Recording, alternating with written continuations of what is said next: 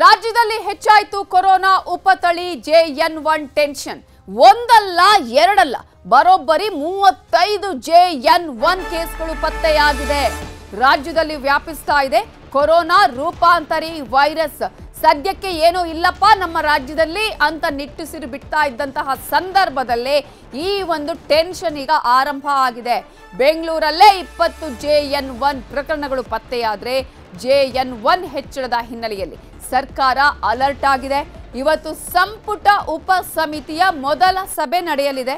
ಆರೋಗ್ಯ ಸಚಿವ ದಿನೇಶ್ ಗುಂಡೂರಾವ್ ನೇತೃತ್ವದಲ್ಲಿ ಸಭೆ ನಡೆಯಲಿದೆ. ಹೊಸ ವರ್ಷಾಚರಣೆಗೆ ಬರುತ್ತಾ ಹೊಸ ರೂಲ್ಸ್. ಇವತ್ತಿನ ಸಭೆಯಲ್ಲಿ ಒಂದಷ್ಟು ಬಿಗಿ ಕ್ರಮಗಳನ್ನ ರೂಲ್ಸ್ ಅನ್ನ ತರುವ ಸಾಧ್ಯತೆ ಇದೆ. ಸಭೆಯಲ್ಲಿ ಉಪ ಸಮಿತಿಯ ಸದಸ್ಯರಾದ ಡಾಕ್ಟರ್ ಎಚ್ ಸಿ ಮಹದೇವಪ್ಪ, ವೈದ್ಯಕೀಯ ಶಿಕ್ಷಣ ಸಚಿವ ಶರಣ್ ಪ್ರಕಾಶ್ ಪಾಟೀಲ್, ಉನ್ನತ ಶಿಕ್ಷಣ ಸಚಿವ ಡಾಕ್ಟರ್ ಎಂಸಿ ಸುಧಾಕರ್ ಅವರು ಭಾಗಿಯಾಗಲಿದ್ದಾರೆ. ಈಗಾಗಲೇ ಬೆಂಗಳೂರಲ್ಲೇ ಇಪ್ಪತ್ತು ರೂಪಾಂತರಿ ಕೇಸ್ಗಳು ದಾಖಲಾಗಿರೋದು. ಒಟ್ಟಾರೆ ರಾಜ್ಯದಲ್ಲಿ ಐವ, ಮೂವತ್ತ ಐದು ಜೆ ಎನ್ ಒನ್ ಪ್ರಕರಣಗಳು ದಾಖಲಾಗಿದೆ. ಈಗಾಗಲೇ ಒಂದಷ್ಟು ಆತಂಕ ನಿರ್ಮಾಣ ಆಗಿದೆ. ಬೇಕಾದಂತಹ ಸಿದ್ಧತೆಗಳನ್ನು ಮಾಡಿಕೊಳ್ಳಲಾಗ್ತಾ ಇದೆ. ಆದರೆ ಇನ್ನೂ ಕೂಡ ಹೆಚ್ಚಿನ ಬಿಗಿ ಕ್ರಮಗಳನ್ನು ಕೈಗೊಳ್ಳುವಂತಹ ಸಾಧ್ಯತೆ ಕಾಣಿಸ್ತಾ ಇದೆ.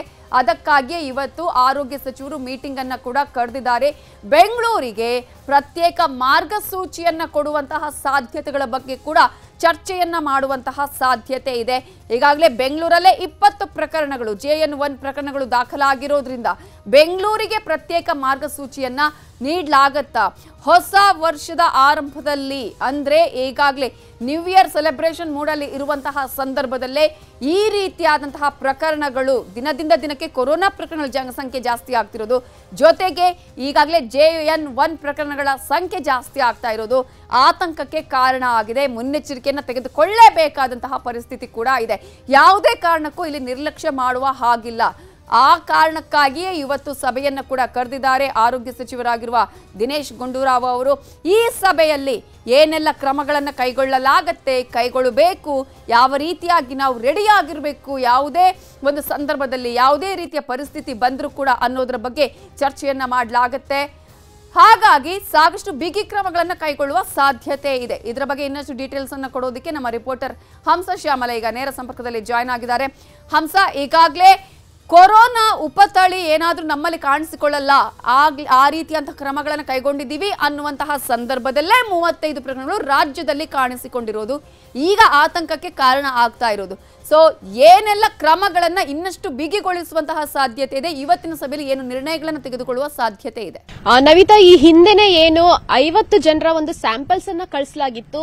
ಆ ಒಂದು ಸಂದರ್ಭದಲ್ಲೇನೆ ಉಪತಳಿ ಒಂದು ಪತ್ತೆಯಾಗಬಹುದು ಅನ್ನುವಂತಹ ಒಂದು ಸಸ್ಪೆಕ್ಟ್ ಇತ್ತು. ಹೀಗಾಗಿ ಸರಣಿ ಸಭೆಗಳನ್ನ ಆರೋಗ್ಯ ಇಲಾಖೆ ಮಾಡಿತ್ತು. ಸೊ ಅವರ ಒಂದು ಏನು ಒಂದು ಪ್ರಿಡಿಕ್ಷನ್ ಇತ್ತು, ಬರಬಹುದು ಅನ್ನುವಂಥದ್ದು ಸೊ ಅದು ನಿಜ ಆಗಿದೆ. ಆದ್ರೆ ಒಂದಲ್ಲ ಎರಡಲ್ಲ, ಬರೋಬ್ಬರಿ ಮೂವತ್ತೈದು ಪ್ರಕರಣಗಳು ರಾಜ್ಯದಲ್ಲೇ ಕಂಡು ಬಂದಿದೆ. ಅದರಲ್ಲೂ ಕೂಡ ಬೆಂಗಳೂರಿನಲ್ಲಿ ಅತಿ ಹೆಚ್ಚು ಅಂದ್ರೆ ಇಪ್ಪತ್ತು ಕೇಸ್ಗಳು ಕಂಡು ಬಂದಿದೆ. ಹೀಗಾಗಿಯೇ ಮತ್ತಷ್ಟು ಒಂದು ಆತಂಕದಲ್ಲಿ ಈಗ ಆರೋಗ್ಯ ಇಲಾಖೆ ಇರುವಂತದ್ದು. ಯಾಕೆಂತ ಹೇಳಿದ್ರೆ, ಆ ಒಂದು ಕೇಸ್ ಆಗಿದ್ರೆ ಹೇಗೋ ಟ್ರ್ಯಾಕ್ ಮಾಡಿ ಅದಕ್ಕೆ ಟ್ರೀಟ್ಮೆಂಟ್ ಅನ್ನ ಕೊಟ್ಟು ಆ ಒಂದಷ್ಟು ಪ್ರಿಕಾಷನರಿ ಮೆಜರ್ಸ್ ಅನ್ನ ತಗೊಳ್ಬೋದಿತ್ತು. ಆದ್ರೆ ಈಗ ಮೂವತ್ತೈದು ಕೇಸ್ಗಳಾಗಿದೆ. ಸೊ ಈಗಾಗಲೇ ನೋಡಬಹುದು ಜೆ ಎನ್ ಪಾಯಿಂಟ್ ಒನ್ ಏನಿದೆ, ಅದು ತುಂಬಾನೇ ಸ್ಪ್ರೆಡ್ ಆಗುವಂತಹ ಒಂದು ವೈರಸ್ ಅಂತ ಈಗಾಗಲೇ ತಜ್ಞರು ಹೇಳಿದ್ದಾರೆ. ಹೀಗಾಗಿಯೇ ಮುಂದಿನ ದಿನದಲ್ಲಿ ಈ ಕೇಸ್ಗಳು ಮತ್ತಷ್ಟು ಹೆಚ್ಚಾಗುವಂತಹ ಸಾಧ್ಯತೆಗಳಿದಾವೆ. ಈ ನಿಟ್ಟಿನಲ್ಲೇನೆ ಇವತ್ತು ಕ್ಯಾಬಿನೆಟ್ ಉಪ ಸಮಿತಿಯ ಸಭೆಯನ್ನು, ಅಂದ್ರೆ ಮೊದಲ ಸಮಿತಿಯ ಸಭೆಯನ್ನ ಕರೆದಿರುವಂತದ್ದು, ಇದರಲ್ಲಿ ಒಂದಷ್ಟು ಮಹತ್ವದ ಒಂದು ನಿರ್ಣಯಗಳನ್ನ ತೆಗೆದುಕೊಳ್ಳುವಂತಹ ಸಾಧ್ಯತೆ ಇದೆ. ಮೊನ್ನೆಯೂ ಕೂಡ ಒಂದು ಟ್ಯಾಕ್ನ ಸದಸ್ಯರು ಒಂದು ಸಭೆಯನ್ನ ಮಾಡಿದ್ರು. ಸಭೆಯನ್ನ ಮಾಡಿ ಒಂದಷ್ಟು ಸಲಹೆಯನ್ನ ಕೊಟ್ಟಿದ್ದಾರೆ. ಪ್ರಮುಖವಾಗಿ ಈ ಬಾರಿ ನ್ಯೂ ಇಯರ್ಗೆ ಒಂದಷ್ಟು ಒಂದು ರೂಲ್ಸ್ ಜಾರಿಯಾಗುತ್ತಾ ಅನ್ನುವಂತಹ ಸಾಧ್ಯತೆ ಇದೆ. ಯಾಕಂತ ಹೇಳಿದ್ರೆ, ಈ ಒಂದು ಟ್ಯಾಕ್ ಇಂದ ಒಂದು ಸಿ ಎ ಬಿ ಅನ್ನುವಂತಹ ಒಂದು ರೂಲ್ಸ್ ಅನ್ನ ಜಾರಿ ತನ್ನಿ ಅನ್ನುವಂತಹ ಒಂದು ಸಲಹೆಯನ್ನ ಕೊಟ್ಟಿದ್ದಾರೆ. ಅಂದ್ರೆ ಕೋವಿಡ್ ಅಪ್ರಾಪ್ರಿಯೇಟ್ ಬಿಹೇವಿಯರ್ ಯಾವ ರೀತಿ ಅಂದ್ರೆ ಈ ಕೋವಿಡ್ ಬಿಹೇವಿಯರ್ ಆಗುತ್ತೆ, ಅದಕ್ಕೆ ಸಂಬಂಧಪಟ್ಟಂತೆ ಒಂದಷ್ಟು ಮುಂಜಾಗ್ರತೆ ಕ್ರಮವನ್ನ ವಹಿಸಿ ಅಂತ ಹೇಳಿದ್ದಾರೆ. ಹೀಗಾಗಿ ಅವರು ಹೇಳಿರುವಂತದ್ದು ಪ್ರಮುಖವಾಗಿ ಜನಸಂದಣಿಯಲ್ಲಿ ಸೋಷಿಯಲ್ ಡಿಸ್ಟೆನ್ಸ್ ಅನ್ನ ಮೇಂಟೈನ್ ಮಾಡಬೇಕು. ಜೊತೆಗೆ ಏನು ಮಾಸ್ಕ್ ಅನ್ನ ಕಡ್ಡಾಯವಾಗಿ ಧರಿಸುವಂತೆ ಮಾಡಬೇಕು. ಅದರ ಜೊತೆಗಿನ ಏನು ಹೆಚ್ಚು ಜನಸಂದಣಿ ಅಂದ್ರೆ ವೆಂಟಿಲೇಷನ್ ಎಲ್ಲೆಲ್ಲಿ ಅತಿ ಹೆಚ್ಚು ಇರೋದಿಲ್ವೋ ಅಲ್ಲಿ ಉಸಿರಾಟದ ಸಮಸ್ಯೆ ಅಥವಾ ಕೋಮಾರ್ಬಿಟಿಸ್ ಇರುವಂತವರು ಬೇರೆ ಬೇರೆ ಕಾಯಿಲೆಗಳು ಇರುವಂತವರು ಹೆಚ್ಚು ಓಡಾಡೋದನ್ನ ಸ್ಟಾಪ್ ಮಾಡಿಸ್ಬೇಕು ಅನ್ನುವಂತಹ ಈ ಮೂರು ಸಲಹೆಯನ್ನ ಈಗಾಗಲೇ ಟ್ಯಾಕ್ ಇಂದ ಕೊಟ್ಟಿರುವಂತದ್ದು ಈ ಒಂದು ಮೂರು ವಿಚಾರಗಳ ಬಗ್ಗೆನೂ ಕೂಡ ಈ ಒಂದು ಇವತ್ತು ನಡೆಯುವಂತಹ ಉಪ ಸಮಿತಿ ಸಭೆಯಲ್ಲಿ ತೀರ್ಮಾನವಾಗುತ್ತೆ. ಜೊತೆಗೆ ಏನು, ಮತ್ತಷ್ಟು ಒಂದು ರಾಜ್ಯದಲ್ಲಿ ಮೆಡಿಸನ್ ಆಕ್ಸಿಜನ್ ಹಾಗೇನೆ ಬೆಡ್ಗಳ ವ್ಯವಸ್ಥೆಯನ್ನು ಈಗಾಗಲೇ ಮಾಡ್ಕೊಳ್ಳಿ ಅಂತ ಮಾಕ್ ಡ್ರಿಲ್ ಮಾಡಿ ಅನ್ನುವಂಥದ್ದನ್ನ ಎಲ್ಲಾ ಆಸ್ಪತ್ರೆಗಳಿಗೂ ಕೂಡ ಹೇಳಿದ್ರು.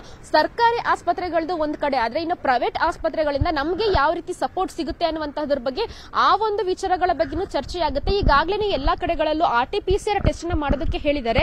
ಸೊ ಅದು ಏನಾದ್ರೂ ಆ ಒಂದು ಈ ಹೆಚ್ಚು ಜನರು ಅಂದ್ರೆ ಬೇರೆ ಕಡೆಗಳಿಂದ ಬರುವಂತಹ ಜನರು ಅಂದ್ರೆ ರೈಲ್ವೆ ಸ್ಟೇಷನ್ ಅಥವಾ K S R T C bus ನಿಲ್ದಾಣಗಳಲ್ಲೂ ಕೂಡ ಏನಾದ್ರು ಜಾರಿ ತರ್ತಾರ ಅನ್ನುವಂಥದ್ದನ್ನ ನೋಡಬೇಕು. ಸೊ ಇನ್ನೇನು ನ್ಯೂ ಇಯರ್ ಹತ್ರ ಬಂದಿದೆ. ಹೀಗಾಗಿ ನ್ಯೂ ಇಯರ್ಗೆ ಒಂದಷ್ಟು ಮಾನದಂಡಗಳನ್ನ ಇಟ್ಕೊಂಡು ಆ ಒಂದಷ್ಟು ರೂಲ್ಸ್ ಜಾರಿ ತರುವಂತಹ ಸಾಧ್ಯತೆ ಇವತ್ತು ಸಭೆ ಆದಂತಹ ಬಳಿಕ ಆರೋಗ್ಯ ಸಚಿವರಾದಂತಹ ದಿನೇಶ್ ಗುಂಡೂರಾವ್ ಅವರು ಹೇಳುವಂತಹ ಸಾಧ್ಯತೆಗಳು ಇದಾವೆ Navitha. Okay thank you Hamsa ಡೀಟೇಲ್ಸ್ಗೆ ಕನ್ನಡಿಗರ ನೆಚ್ಚಿನ ನ್ಯೂಸ್ ಏಟೀನ್ ಕನ್ನಡ ಈಗ ವಾಟ್ಸ್ಆಪ್ನಲ್ಲೂ ಲಭ್ಯ. ಕರ್ನಾಟಕ, ದೇಶ, ವಿದೇಶಗಳ ತ್ರೀ ಸಿಕ್ಸ್ಟಿ ಡಿಗ್ರಿ ಸುದ್ದಿಯ ವಿವರಗಳನ್ನ ನಿಮ್ಮ ಕೈ ಬೆಳುಗಳಲ್ಲೇ ಪಡೀಲಿಕ್ಕೆ ಈ ಕ್ಯೂ ಆರ್ ಕೋಡ್ ಅನ್ನ ಸ್ಕ್ಯಾನ್ ಮಾಡಿ.